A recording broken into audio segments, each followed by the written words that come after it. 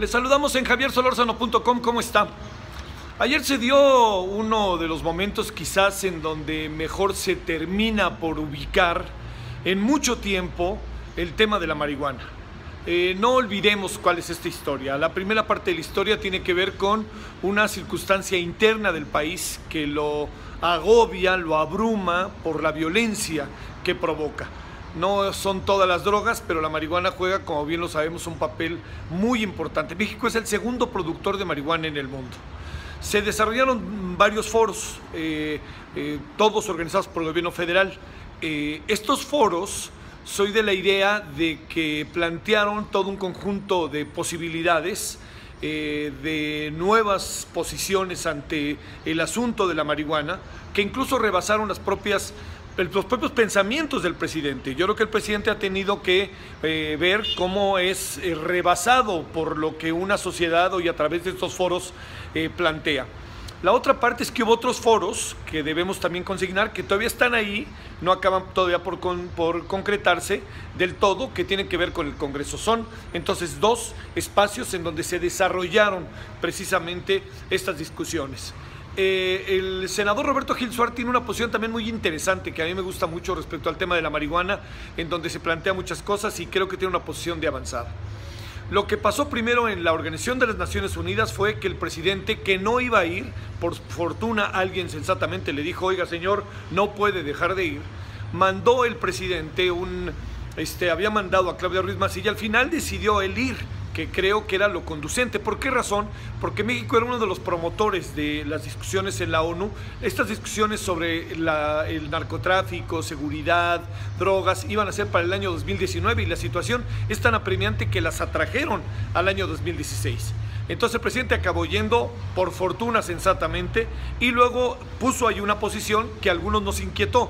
Nos pareció buena, pero dijimos, no vaya a ser que seamos esta máxima ya conoce, ¿no? De que uno es candil de la calle y oscuridad de la casa. Pues aquí no fue así, porque ayer en la mañana el presidente, en un lugar que no casualmente fue la Secretaría de Salud, lanzó otras nuevas ideas. Ideas que tienen que ver con el planteamiento que varios ciudadanos, ONGs, investigadores, analistas hicieron en los foros.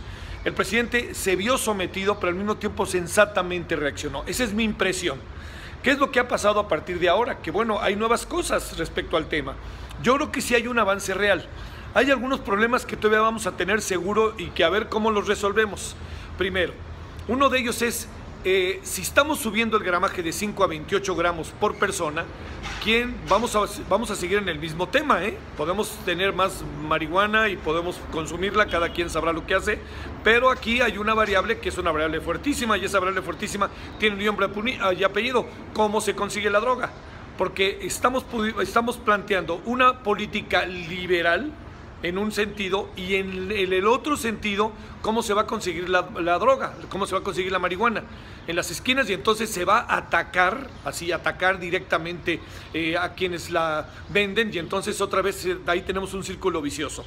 Sin embargo, pienso que es un avance porque esto va aparejado a otras decisiones como el de la marihuana medicinal. ¿Hacia dónde vamos? Yo diría que dimos un avance y un paso muy importante. Tarde que temprano vamos a tener que discutir y en su caso aprobar el tema de el uso de la marihuana con la marihuana de uso lúdico, es decir, que la gente como quien se eche un trago, se eche un toque y yo creo que en eso tenemos que ir pensando qué va a pasar. Si de hecho pasa, hay que ver cómo le hacemos para que pase en un marco de carácter legal. En Estados Unidos se va a discutir en el mes de noviembre y seguramente se va a entre otros estados en California, el uso lúdico de la marihuana. Creo que dimos un paso adelante. ¿A qué se debe este paso? A que no dejamos de pensar en lo que tiene que ver en los consensos, en que la sociedad se manifestó y que el gobierno sensatamente se subió precisamente a todo este proceso. Queda otra parte, no hay una panacea, queda otra parte y esa otra parte tiene nombre y apellido. Y esa parte es el tema de la seguridad, el tema de la violencia y el tema de los cárteles de la droga y particularmente esta cuestión que tiene que ver con la marihuana que seguramente tendremos que hacer un replanteamiento más profundo tarde que temprano temprano. Diría yo, en este tema avanzamos, nos falta, pero avanzamos. No es la panacea, sigue el tema de la seguridad en medio y eso no lo podemos soslayar. Pero si usted me permite una mínima conclusión, avanzamos y se debe a que todos vemos el asunto independientemente de ideologías, más menos de la misma manera. Sabemos en lo que estamos metidos. Somos el segundo productor de marihuana. ¿Qué tendría que pasar acá adentro? Pensar las cosas diferente, como creo lo estamos empezando a hacer. Le mando saludos, javiersolorzano.com. Pásela bien.